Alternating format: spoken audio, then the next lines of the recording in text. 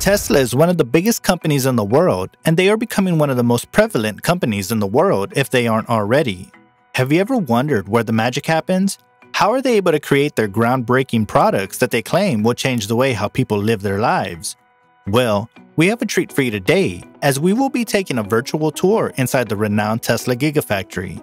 Before we continue, don't forget to subscribe to our channel and click on the notification bell so you get updated with our newest content when made available we present to you a virtual tour inside the Tesla Gigafactory.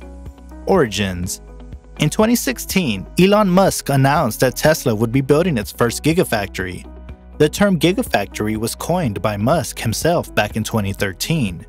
He envisioned the factory to handle the company's production of the Model 3, an electric car made available to the masses. This output would need something similar to all lithium ion production in one word in one factory. The word comes from giga, which means billions. Giga is also believed to come from the Greek word gigas, which means giant. In short, Musk wanted a factory capable of producing billions of the products he releases, as well as being one huge factory. The Gigafactory is intended to cover a whopping 4.9 million square feet of space. This would make it the largest building in the world, meaning that the Gigafactory Tesla has now is still yet to be finished in line with their vision, the first Gigafactory is located in Nevada and is around 30% of the completed version. Tesla still has many years before completing what would be the final version of their factory, but that doesn't mean that they can't already produce the products that have made them and Elon Musk famous. In order to produce those products, they need to produce those lithium ion batteries, a sustainable energy source which Elon Musk believes is the future for all sustainable energy. Inside the factory, it's in this huge complex that Tesla and Panasonic produce battery packs for its energy storage products, other products as well as Musk's brainchild, Tesla's Model 3. The factory is open for visit to any news company or media outlet so Tesla can give information and help people understand the process for building what's inside, as well as their plans for other factories in the future. As quoted by Chris Lister, Vice President for Operations, in an interview with CNBC, he said, in order to transition the world to sustainable energy, we really need to build this big, build this boldly, and really build as many battery cells as we possibly could to really accelerate this transition. The acceleration is crucial to Tesla's process. In the United States alone, orders for the Model 3 have significantly outpaced its available output. A part of this could be due to the strain between Tesla and Panasonic's relationship.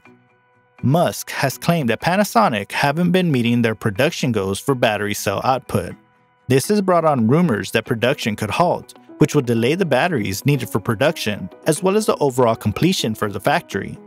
Tesla has put these rumors to rest, claiming the factory expansion is very much ongoing. The area of the factory itself is massive. It can house over 33 football fields, and as big as it is now, it will get even better as the expansion progresses over time. The size of the factory is crucial, as Tesla is producing more batteries for electric vehicles than any other place in the planet combined. Without the Gigafactory, production of vehicles would be slim to none. Thankfully for Tesla, even at just a 30% capacity, it's slowly reaching where it wants to be. The factory houses over 7,000 working employees that help produce the 13 million lithium ion battery cells that are produced per day. Such a huge number, right? That's because over 4,000 battery cells are needed for one Model 3. With this process, over 9,028 pieces are produced per minute. Elon Musk said himself that it's a higher rate than a machine gun can unload bullets.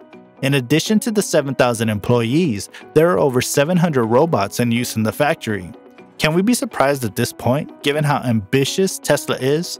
More will probably be employed as they're only up 30% of completion. Once the factory is completed, it's expected to be powered by renewable energy at a 100%. Over 114 megawatts of energy are saved per month by using the LED lights, and the waste heat of the machines and robots is also used. The factory is aligned in a north-south manner so that they can use solar energy in the most efficient manner. Over 200,000 solar panels are to be installed on the roof once the factory enters its final stage. And of course, working in the desert of Nevada makes for some humid working conditions. The robots may not mind, but the 7,000 employees are susceptible to the weather.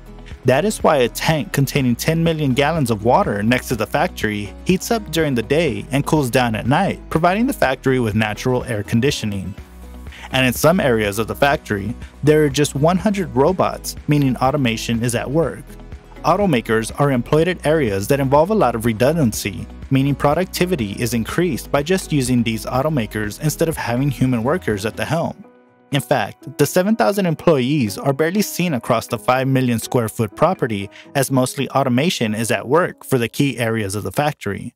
As the factory nears the end of its final construction, expect more of these automakers to pop up making sure everything works as smoothly as possible. Future Gigafactories As amazing as this Gigafactory is, what makes it even more impressive is that it's not the only one of its kind. There is one gigafactory in China that will soon be functional in the next couple of months, and Tesla even expects to have four more gigafactories across the world. There is a Giga Berlin to follow the soon to be functional Giga Shanghai, with the latter expected to produce around 500,000 Model 3 per year once it reaches full capacity. There is a gig in New York which has been producing solar roof tiles, and as well as a Giga Central US expected to help support the Eastern North America market. This Gigafactory is responsible for producing more Model Y vehicles and as well as the Cybertruck expected to be available in 2021. Giga Asia would be the second Gigafactory in Asia, but the progress on this factory remains vague to say the least. Long story short, the Gigafactory in Nevada is an impressive feat, and on its completion, we will fully reap the benefits that Tesla is counting on. But make no mistake, this isn't the only Gigafactory making waves, and chances are there will be even more in the future. It's up to us to sit back, relax, and watch how Tesla slowly becomes a legitimate building block in our society in the not so distant future.